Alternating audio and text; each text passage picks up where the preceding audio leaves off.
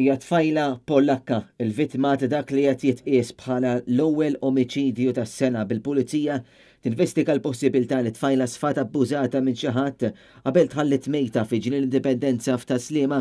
Dan il-każ xokkanti seħħ fl-ewwel lejl tal-2022 għalkemm il-katavru nstab kmieni il-Ħadd filgħodu minn persuni li kienu għaddejjin tul ix-xatt ta' Tas-Sliema Kmieni filgħodu għall-Ħabt tas-26, il-vittma instabet kważi bla ħwejjeġ taħt ħajt u f'għadira demm.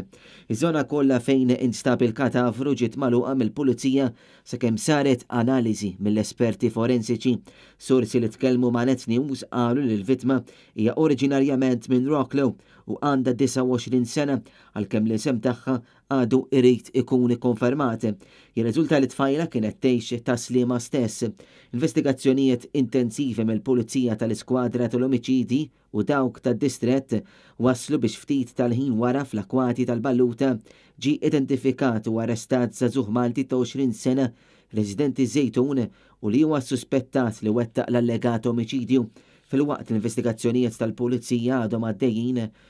Dwar dan il-każ il-Maġistrat tal-Għassa, Astrid May Grima, ordnat li ssir inkjesta u ħatret diversi esperti sabiex jassistuha.